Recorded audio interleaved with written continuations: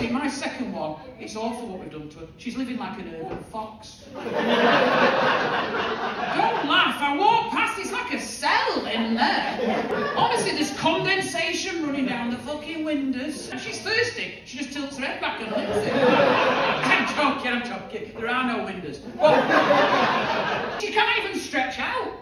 Seriously, she's not even six and she's got the posture of a cashew nut. I see her come down in the morning just permanently bent over She's like those nanas, you know when you see them just look at gravel for their, their whole day coming out of B&M, they're just looking at gravel.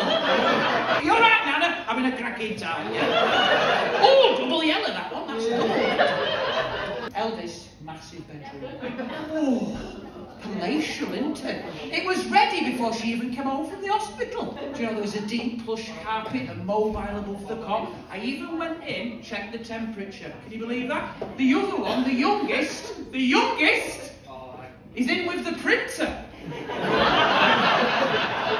It's true. It's true, mate, it is. It's, that's kind of what observational comedy is, but well done.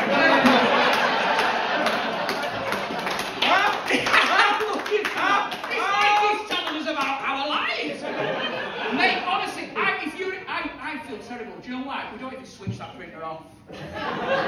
she can't have a lamp on because it's using the plug. Six-year-old trying to fall asleep with her head on a paper tray. awful, isn't it? Every night. Do you know with the eldest, when we used to wake her up, I used to open the curtains, big curtains, the sunlight gently stream in. Second one, just send a document.